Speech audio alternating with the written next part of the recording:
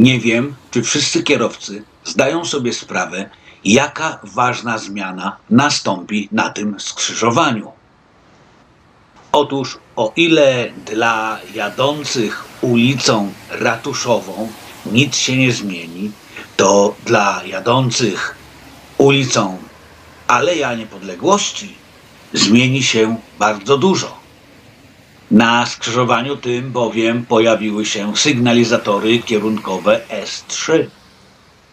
I o ile dla jadących ulicą Ratuszową zawracanie było zawsze zabronione, obecnie zakaz ten również będzie dotyczył kierowców jadących Aleją Niepodległości.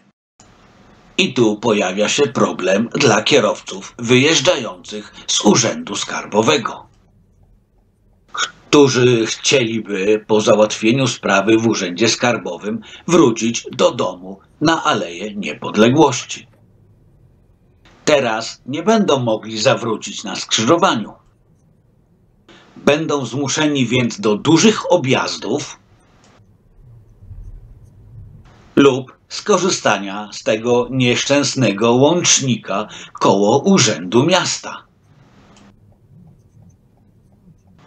Co czasami nie jest łatwe.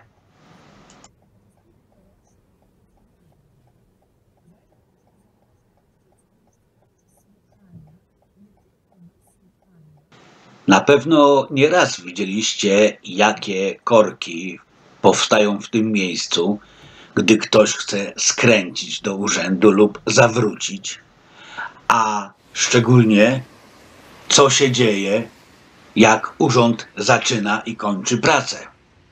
Może pamiętacie, że dążyłem do likwidacji tego łącznika. I jeszcze tych dążeń nie zakończyłem, bo wpadłem na pewien pomysł. Skoro ten łącznik jest tak bardzo potrzebny dla wygody urzędników i podobno petentów Urzędu Miejskiego, i jest na tej ulicy jeszcze drugi łącznik do prywatnych posesji.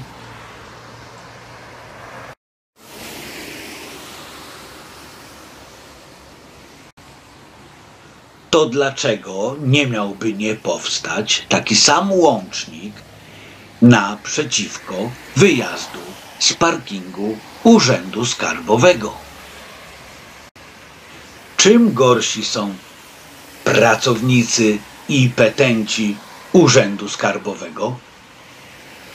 Czyż konstytucja nie gwarantuje nam wszystkim równych praw? W dostępie do urzędów również?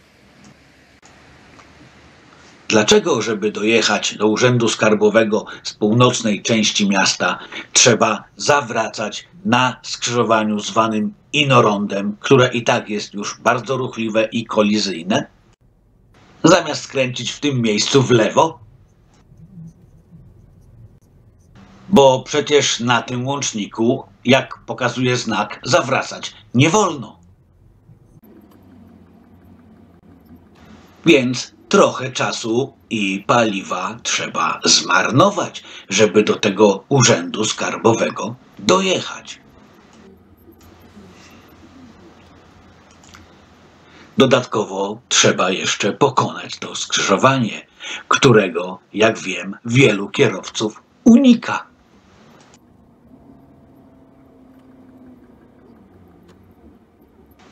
Dlatego, skoro mogą być tamte dwa łączniki, to może również być łącznik koło Urzędu Skarbowego. Jak to było w tym kawale o babci i bandytach? Jak wszyscy, to wszyscy. Mogą mieć łatwiej. Ale jest jeszcze inna możliwość ulżenia petentom i pracownikom Urzędu Skarbowego, która już dawno powinna być wykorzystana. Panie prezydencie Brejza, czy miasta nie stać na połączenie ładnego parkingu przy Urzędzie Skarbowym z ulicą Świętokrzyską jakąś równą drogą, to tylko dwieście paręnaście metrów.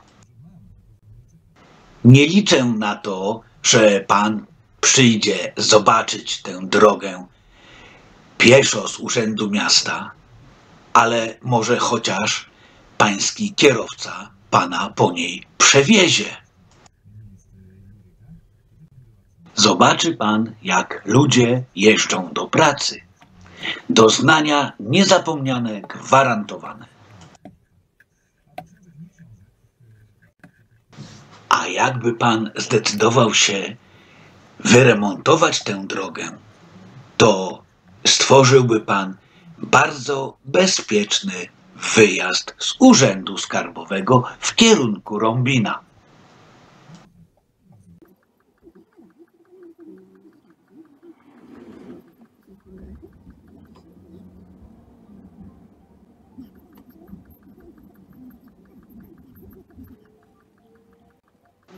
Przez bardzo bezpieczne skrzyżowanie, bo sygnalizacją świetlną.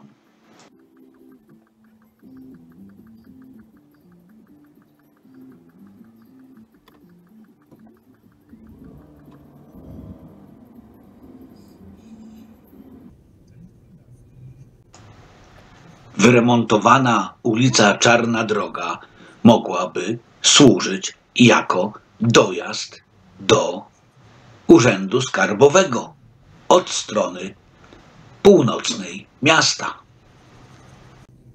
A i dla mieszkańców centrum miasta czy osiedla piastowskiego również skróciłaby drogę.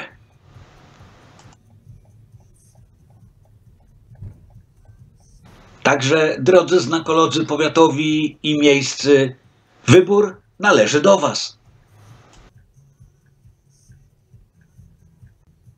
Także macie alternatywę. Łącznik ze zjazdem do Urzędu Skarbowego albo wyremontowana ulica Czarna Droga.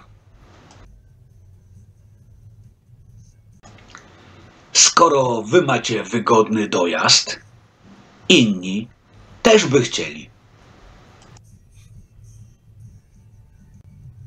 Podobno wszyscy jesteśmy równi.